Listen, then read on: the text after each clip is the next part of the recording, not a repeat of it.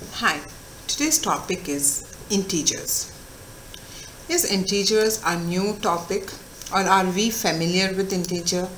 Yes, we are pretty much familiar with integer, isn't it?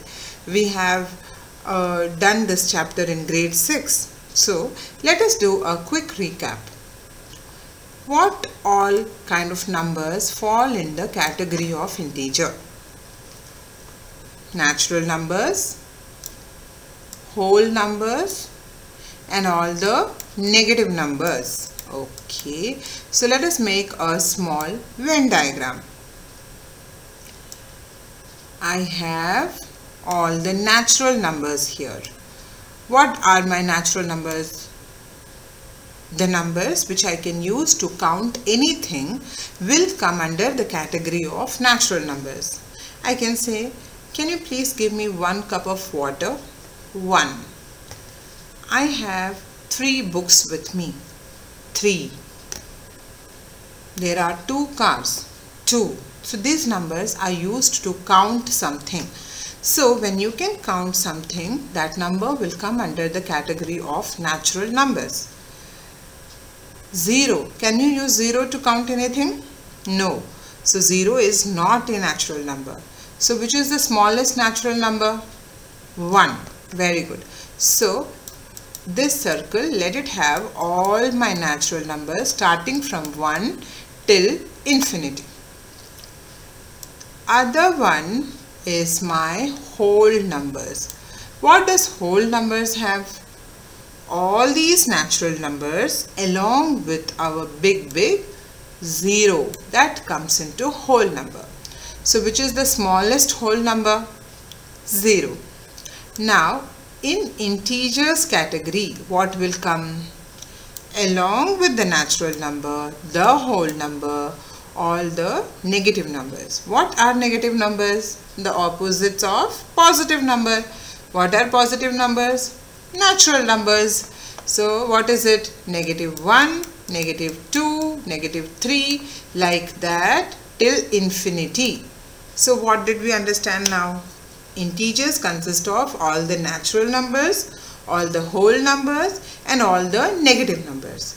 So what does integer not consist of? What numbers are not part of integers? All the fractions and decimals are not part of integers. Is it clear? If I say 4 by 5, it is not part of integer if I say 7.3 it is not part of integer right? I hope integer section is clear right? So now let's go to the next part which is number line. Why do we use number line? To visualize all these numbers we can do addition subtraction and all easily. We can see how the numbers are changing so basically number line is a straight line, isn't it? And the midterm is what? Is a 0. Is that correct? Now,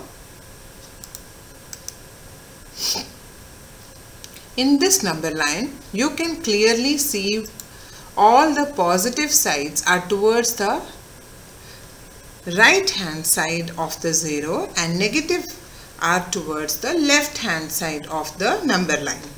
Perfect. So positive towards the right hand side and negative towards the left hand side of the number line. Good. Now one more thing we will notice here. 2 is greater than 1, 3 is greater than 2, 4 is greater than 3. As the numbers move towards the right hand side, what do you notice? Numbers are getting greater. Is that correct? See, my numbers are moving towards the right hand side. So, 10 is in the right hand side of 4.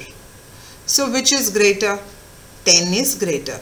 So, when you go towards the right direction, the number keeps increasing. Just that much and when you go towards the left hand side the numbers are decreasing. You can see 10 9 8 7 it is decreasing. So this actually stretches till here to the negative part also. This is applicable. If you look at two numbers negative 2 and negative 8 so which is greater and which is lesser? See 2 is towards the right of negative 8 so negative 2 is greater. Negative 8 is towards the left of negative 2 so negative 8 is lesser right? Now also one more trick is there. Towards the negative side, people mostly get confused. The number which is closest to 0 is always greater and the number which negative number which is farthest from 0 is always smaller. If I have to see negative 1 and negative 6, which number is greater? Obviously, negative 1 is greater. It is the closest to 0.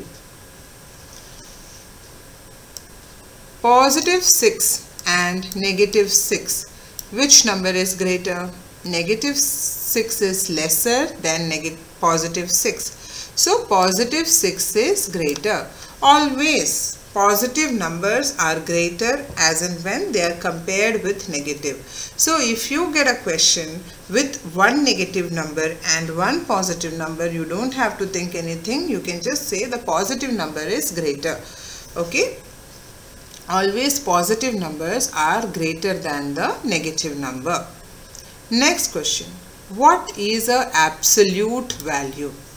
The term absolute itself tells us what exact, isn't it? Absolutely, exactly, we say that. So if I get a number negative 7, what is the absolute value of negative 7? The number 7 itself without any sign. No positive sign, no negative sign. The number 7 is the absolute value of negative 7. Correct? it goes with the positive number also. If you have positive 7 and they ask you to find out the absolute value of positive 7, you just have to write 7. That's it. Now, let us learn some uh, rules of addition, subtraction and all. Okay. Just let me know if you have two positive number, what operation will take place that is very crisp and clear, it will be positive. And you have two negative signs which operation will take place. Again the operation will be positive because two are there, they're strong. So whenever two same signs come, make sure it will be addition. Two same signs if it is two uh, positive numbers or two negative numbers. The operation which takes place will be addition. But then if one number is negative and one number is positive, they become weak because one is positive, one is negative. So what will happen? Negative operation will take place. Understand? Okay. So let us see some examples because this is very very important concept which will be useful in most of the coming chapters. So you have to get it very clear. Okay. I am going to add 3 plus 4. How much will it be? 7. No need to put a sign because positive number default it is positive you don't have to put any sign. Perfect. If you have minus 7 plus minus 3. I'll put it in a bracket not to get you confused. For this kind of question, I will write two steps. What will be my next step? I'll write minus 7 as it is.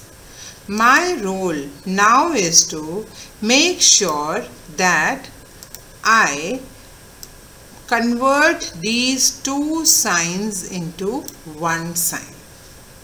What did I tell you? Plus and minus. One sign is plus and one sign is negative. So what should happen? negative sign will come. Right? So it will become minus 7 minus 3. When two signs are negative, which operation takes place? Addition takes place. So what will be the answer? 10. But here we cannot stop. If you write 10, your answer will be wrong.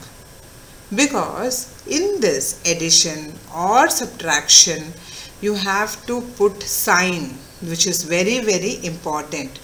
And always whenever you perform these operations, the sign of the greater number will come.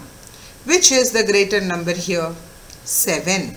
7 is the greater number. And what is the sign of 7? Negative 7. So the answer will become negative 10. Is that clear? Let us do one more example to get it clear. Okay?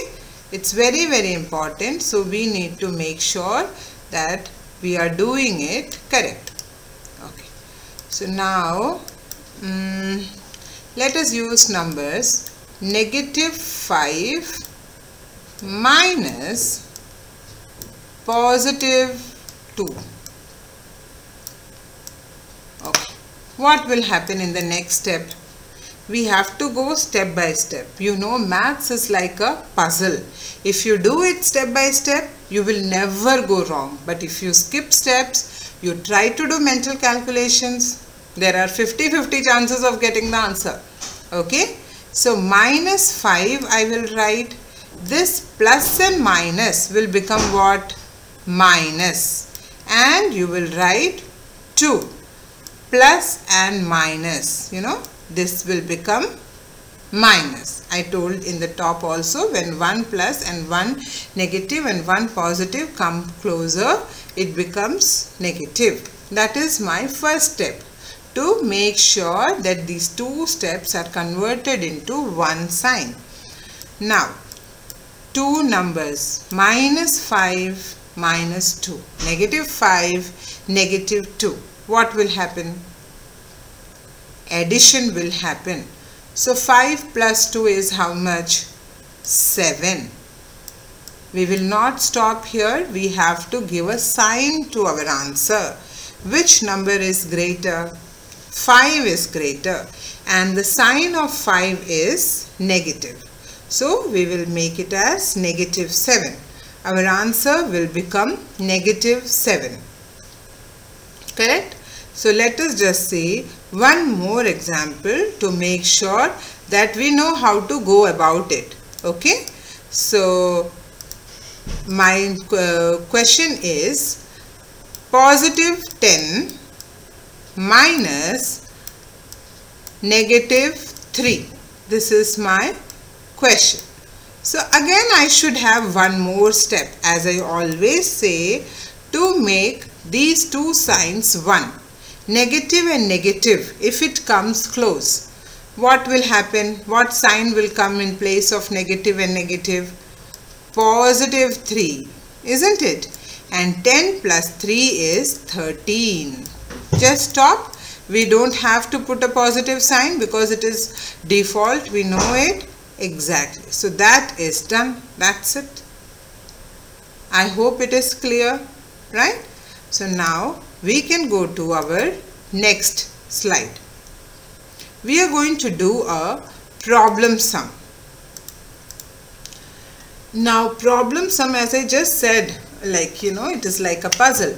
So here we will not go and do it at once. We will just divide it into small small parts and then do. Always make sure you read the problem sums very carefully so that you get the correct answer.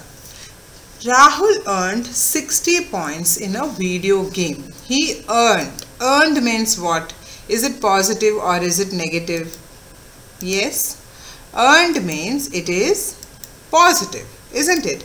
So he earned 60 points. Let us write 60. he lost 40 points. What is lost? It went from us. So definitely it is negative 40. Right? 60 minus 40 is how much? 20. Now let us move to the second line. earned 80 points. After losing 40, he is earning 80 points. So, after this step, he has only 20 points with him. I am going to add 80 because it is positive 80. So, now what does he have? He has 100 points. Now, again he is losing 30. So, I should use this value from this step, come down Losing 30 means negative 30. So 100 minus 30 is how much? 70. Is it positive or negative? 100 is the greater number and 100 is positive. So our answer is also positive. He has 70 questions. Is that 70 scores? Is that correct? Now I did one question for you and you have to do this question try to do it. Try to see if you are able to do this. If you are not able to do this put it in the comment box okay? If you like this video please subscribe like it and share it with your friends. Till then keep practicing. Bye bye